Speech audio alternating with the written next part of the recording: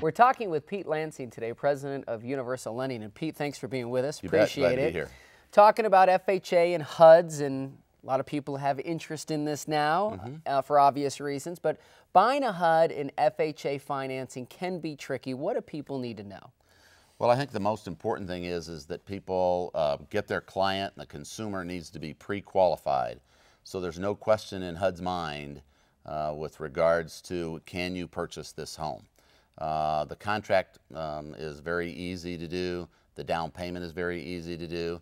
And of course, um, you want to make sure that you've got proper housing inspections and can and the appraisal is being done by HUD. So it, it almost makes it easier than any other type of loan program out there. Yeah. Uh, a couple of, just mention a couple of FHA programs that kind of go hand in hand with buying a HUD.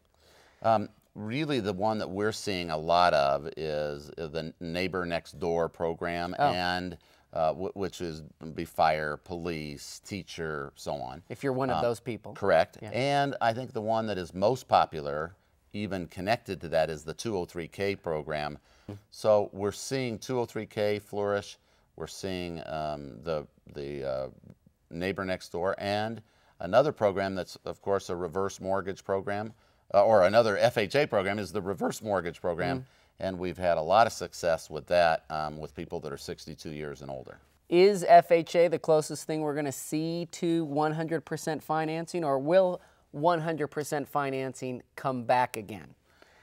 I don't see that happening in the near future, and the reason I say that is the liquidity of the markets um, have to do with what was put into those mortgage-backed securities.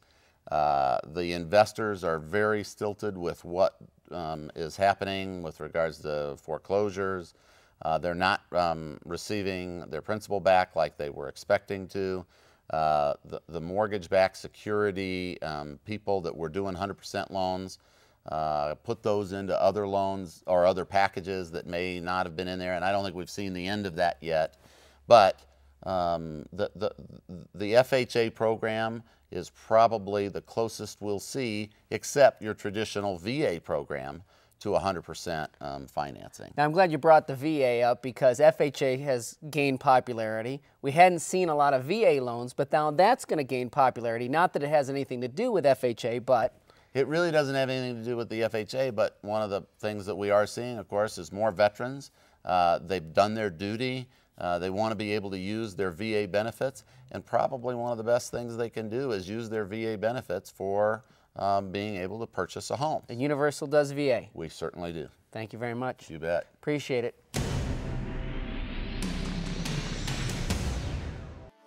Find more real estate videos at brokeriptv.com.